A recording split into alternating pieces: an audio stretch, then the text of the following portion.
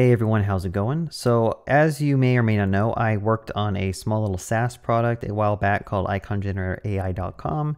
And I wanted to kind of share with you how much money I've made over the past month or so with this product.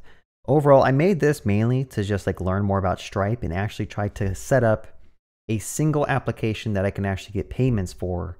And I think this was a really great learning experience for myself. For those of you who aren't familiar with this product, um, basically it's a way to go in here and you can generate any type of icon that you want, basically by just typing in a prompt here, selecting a color, a style, and a shape, and you can select how many images that you want, and then I'll go ahead and like generate some icons for you. And this product is set up with Next NextAuth, and I think it only has like Google authentication, so you can like sign in with your Gmail account or something. And after signing in, you have the ability to buy credits, which will take you to a Stripe page.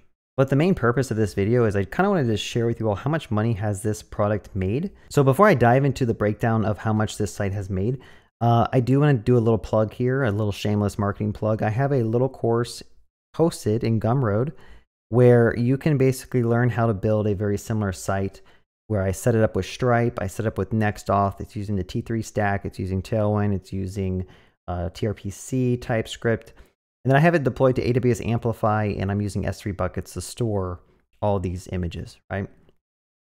Now the course doesn't build out the exact same thing I've, I've, just shown you here. Like obviously I put in a lot more work into this site than I have with the, the course. But if you're just looking to get like a, a decent understanding of new technologies and just kind of get a different perspective on how you can build and deploy applications to potentially Amazon, so definitely check out the course link. I will put it in the description. There's also going to be a code that you can use to get, I think, 30% off on the course. I think it's only like 14 bucks. Yeah, let's just go ahead and get the breakdown of how much I've made with my AI um, application. Because I think sometimes you watch people online make SaaS products and you think they're making like a decent amount of money. But overall, this product, I think has only made like 200 bucks in revenue. And I want to kind of differentiate between revenue and profit. So revenue is like basically how much money came in Profit is you take the losses or how much it costs to run this and subtract it from your revenue to get the profit. So I went ahead and deleted anything that might be sensitive in this, um, but this is my Stripe dashboard, and you can see here I have it filtering for exactly $5, which is how much the uh, buying credits cost on this icon generator AI application. And I have 42 results that are succeeded with the $5 purchase. I think so 42 times 5 is about $210. That is the total revenue I've made on this little application. For some reason, Stripe doesn't give you a way to like filter by the product that you're selling or like the price that you're selling. Um, I'm finding this UI very lacking. I don't know why they don't provide you an easy way to do that.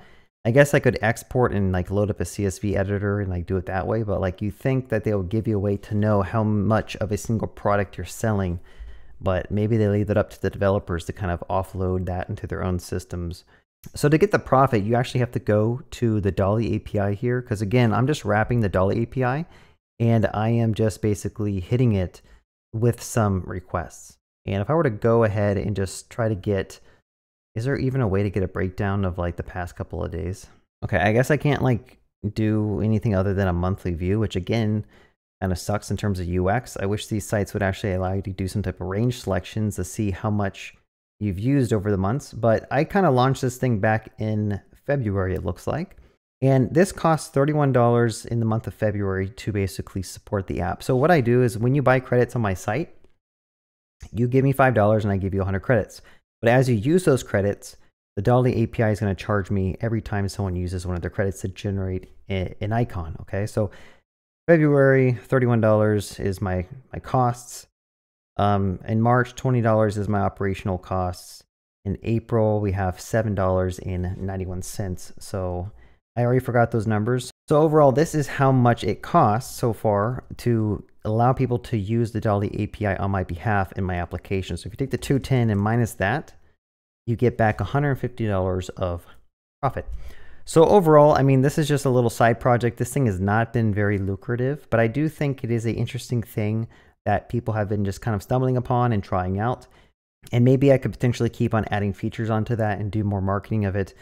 But I don't know where to take it from here. Like, I don't know if I should keep on trying to work on this because it is a potential product that I could build out, or if I should just kind of move on from here. Obviously, if you uh, have followed my channel, you know I like to jump around from project to project, and I might be reaching a point where I'm going to kind of just like let this one just sit here and maybe I'll revisit it in the future or something. There's always more fun things that you think you can work on. All right, well, that's all I kind of want to share with you all today. If you guys enjoyed watching, be sure to give me a thumbs up, comment, subscribe, press the bell icon. And uh, like always, I have a Discord channel you're welcome to join if you want to talk to me directly or just find a place to hang out with some other developers. If you're lost or stuck or just need like some questions answered, feel free to uh, ask in my Discord. All right, have a good day and happy coding.